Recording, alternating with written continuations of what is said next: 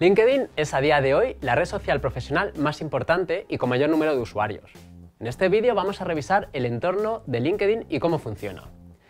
Como todas las redes sociales, está en continuo cambio y puede que cuando se publique este vídeo haya cambiado algo de la apariencia, pero la base de la red y el funcionamiento seguramente sea el mismo.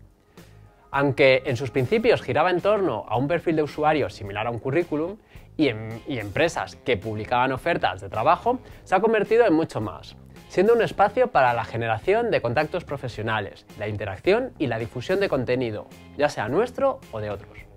Por lo tanto, su funcionamiento ha pasado a ser muy parecido al de otras redes sociales, que no solo giran en torno a los perfiles, sino también a las publicaciones, pero donde la temática será, o debería ser, siempre profesional y nunca de ocio. Además, LinkedIn ofrece una serie de características adicionales, como son los espacios para universidades, una, plataforma de cursos online, la plataforma SlideShare para compartir presentaciones, crear páginas de empresas o la posibilidad de crear grupos privados profesionales donde trabajar de manera colaborativa en forma de comunidad virtual. Desde el punto de vista de nuestra identidad digital, tenemos que fijar tres objetivos iniciales. Uno, completar nuestro perfil. Aquí sí es importante rellenarlo adecuadamente. Dos, crear una red de contactos buscando pues dichos contactos. Y tres, publicar contenido o compartir el de otros, para mejorar de esta manera nuestra visibilidad. Una vez nos creamos una cuenta en LinkedIn, al acceder a la plataforma con nuestro usuario, el aspecto es el que podéis ver. Lo primero que nos encontramos es la página de inicio, basada, como en la mayoría de las redes sociales, en un muro o zona de actualizaciones, donde veremos todas las publicaciones de nuestros contactos, tanto las escritas por ellos como las compartidas de otros o de otros usuarios, aunque no las sigamos. En la parte superior nos encontramos con el menú de navegación, donde estarán todas las opciones y accesos que necesitemos en la red social. En primer lugar, podremos hacer búsquedas eh, muy completas. Desde el menú superior, LinkedIn nos permite directamente buscar a gente o empresas.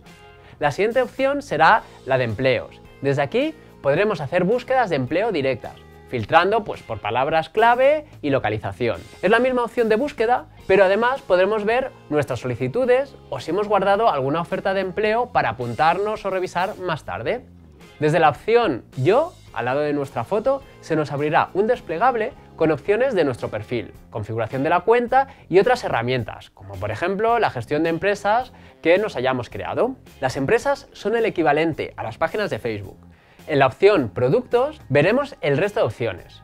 Volviendo a la página principal o zona de inicio, a la izquierda nos encontramos con un resumen de nuestro perfil y a la derecha sugerencias y promociones, anuncios. El perfil lo vamos a ver en otro vídeo con los consejos sobre posicionamiento. Y aprovechando que estamos en esta página de inicio, veremos primero cómo publicar. Si pulsamos en el cuadro superior del muro, se ampliará este cuadro y desde aquí podremos escribir la publicación, al igual que en cualquier otra red social, incluyendo un texto, enlaces o hashtags. Nos permite LinkedIn también añadir emoticonos, imágenes y vídeos. A la hora de publicar, podremos también escoger entre diferentes tipos de privacidad público, que lo vea cualquier persona, tenga o no cuenta de LinkedIn. Esto para posicionamiento nos viene muy bien, con lo cual es recomendable.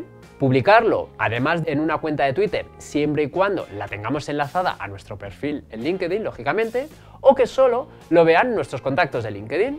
Podremos también permitir o no que se escriban comentarios. En segundo lugar, podremos interactuar con publicaciones de otros. En nuestro muro aparecerán no solo las publicaciones de nuestros contactos, sino también las de estos que compartan y las que recomienden, que es lo equivalente a los me gusta de otras redes, pues como por ejemplo Twitter. Para interactuar con una publicación podremos recomendarla, comentarla, si lo ha permitido el autor, y compartirla. Además, nos ofrece información sobre la publicación y en los tres puntos de arriba de la publicación nos sale un menú con opciones como copiar el enlace, ocultar la publicación, esta opción es muy útil para filtrar publicaciones de personas que no nos interesan especialmente, quizás simplemente porque la temática que tratan nos genera ruido y no queremos borrarlas como contacto. Podremos también dejar de seguir a la persona, denunciar la publicación o simplemente la opción de mejorar nuestro feed para recibir recomendaciones específicas de publicaciones. Tras esta revisión inicial de la red LinkedIn, te animo a crearte un perfil si no lo tienes ya, y que sigas con nosotros en las siguientes lecciones para ver cómo sacarle el máximo provecho a esta red. Thank you.